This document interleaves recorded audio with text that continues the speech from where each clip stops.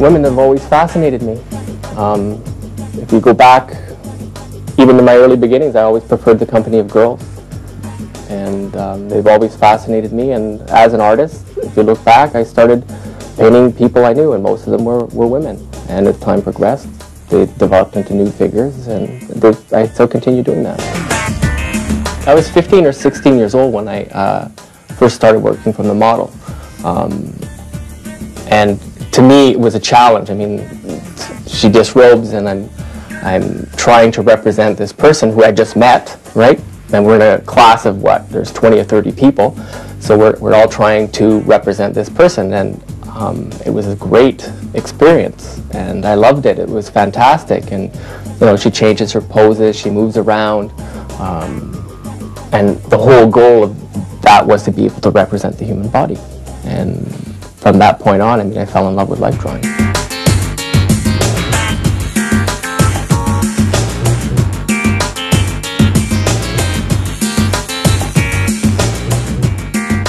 The artist-model relationship uh, isn't about that.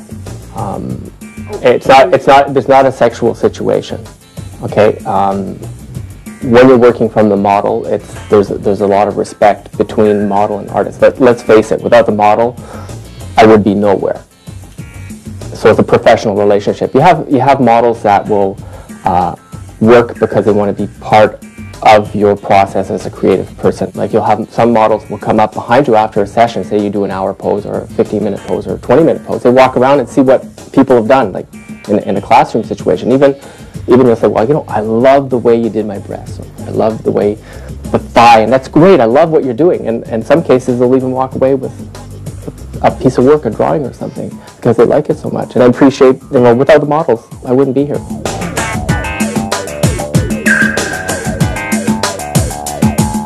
I'm a man, so I'm not going to say that there's no sex in my work.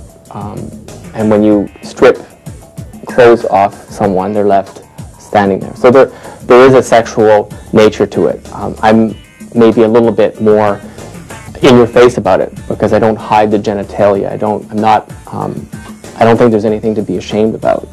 Um, you know, there's some people that put olive leaves and stuff to sort of hide certain parts of the body, but the body as a whole, whole as a whole, is a beautiful thing. So I mean, every part of the body.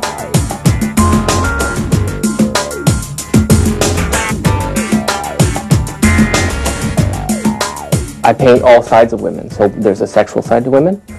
There's um, a day-to-day side. Women are constantly changing. Um, we change every moment. You change the music, the mood changes, the person changes. Uh, a thought comes into somebody's head and they change. So uh, it's it's all about that. And the sexual part is is, is a part uh, of women. Um, when I paint it, it's, it's I think it's empowering. I think it's not necessarily um, a docile thing. I think it's more, more about the strength that women have that's been lost maybe down through the centuries. Um, it's not about being a voyeur.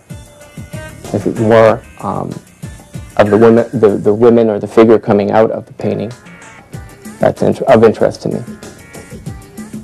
People who know what they want.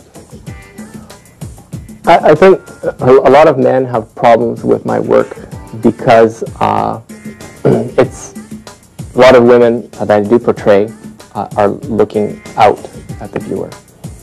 Um, men are in today's society are used to being a voyeur, watching. You know, um, looking. It's sort of like the women doesn't the women don't know they're being looked at.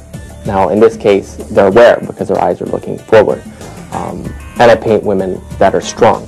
So, uh, and I, I've asked other artists that are women, friends of mine, like, why? I said, well, you paint strong women. They're strong. They know what they want. They're there. Their eyes are open. They're they're strong. The, the, the way they're handled, they're very it's very powerful. And that's what my work is. A lot of my work is about is, is the power that women have.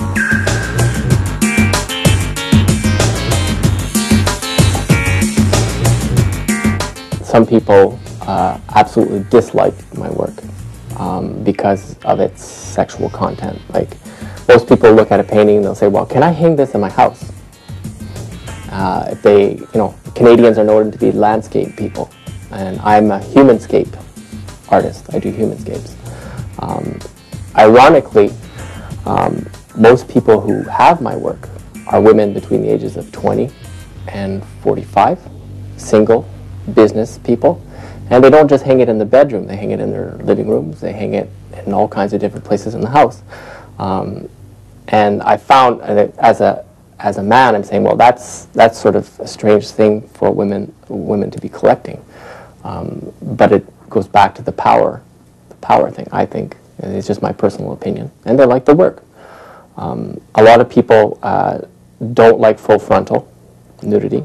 Uh, a lot of people have issues with it because uh, maybe it goes back to them being ashamed. Um, our whole Judeo-Christian uh, world has taught people to be ashamed about their bodies. Um, but you know, it's mixed review. It's straight across, straight across the board.